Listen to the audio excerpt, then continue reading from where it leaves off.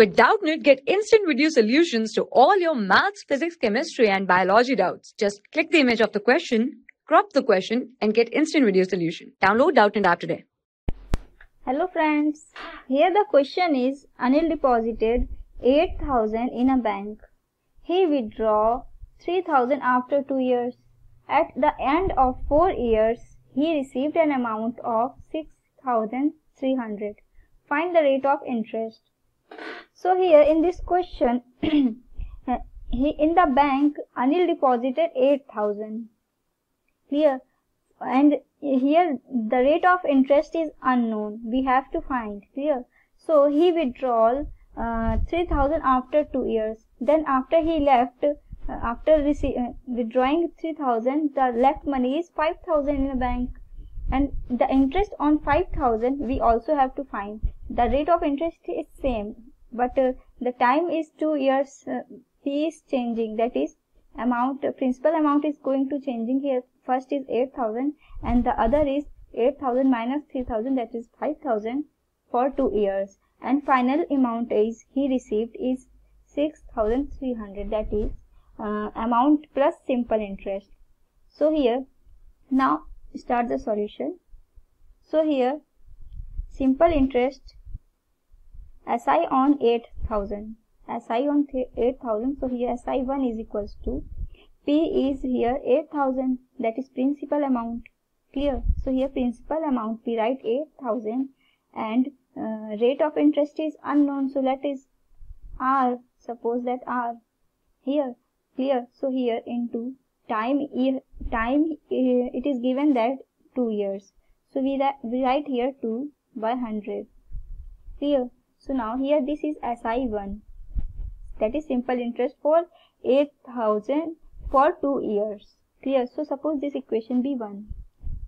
Now simple interest on after withdrawing 3000. So the money is left is 3000 minus 8000. So here we write SI2 is equals to 8000 minus 3000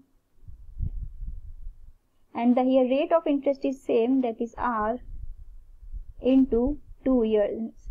For mm, here it at the end of 4 years that means 4 minus 2 that is 2 years by 100 clear?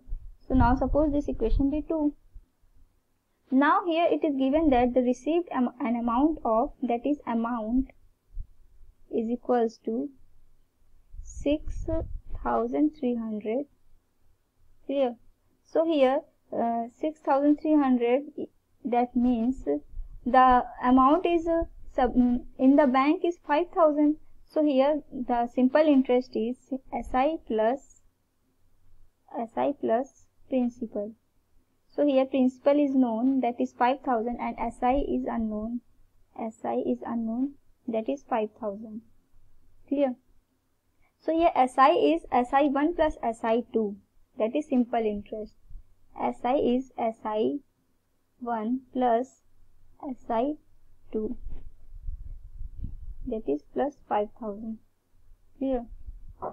So now here SI1 plus SI2 is equals to uh, that is 13,000 1300 that is 1500 minus 6000 6300 here here amount is uh, given that is we write here we write here amount is 6300 it is given so here si1 plus si2 is equals to here minus 5000 here so now here si1 plus SI2 is equals to 6300 minus 5000 is equals to here 1300 that is 1300 so now we uh, add SI1 and SI2 that is equation 1 and equation 2 so here we get 2 8 is 16 that is here we write 8000 into R into 2 by 100 plus plus 8000 minus 3000 that is 5000 5000 into r into 2 by 100 is equals to 1300 clear?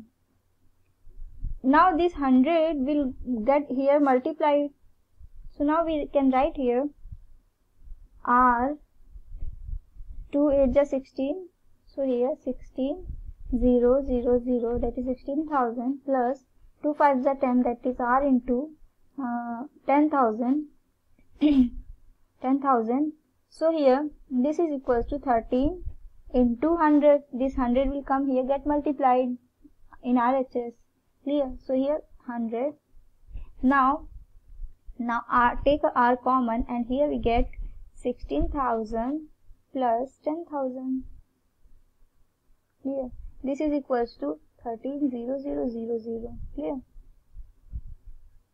Now R is equals to 13 13 0 0 0 0 that is here 1 lakh 30,000 by when we add we get here 0 0 0 1 2 3 and here 6 and here 2 that is 26,000 clear? So now three zeros are cancelled out. And here mm, 13 ones are 13 that is 0 and 13 to the 26 that is 2 and these two will cancel out that is 5 that is equals to 5 5 so here therefore therefore rate of interest rate of interest is equals to interest is equals to 5 percent. Clear? So here this is the answer.